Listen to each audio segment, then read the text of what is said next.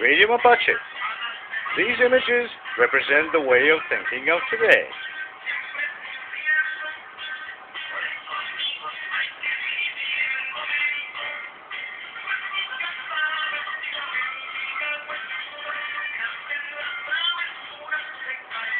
It's interesting. Someone once noted that everything we ever needed, we already had.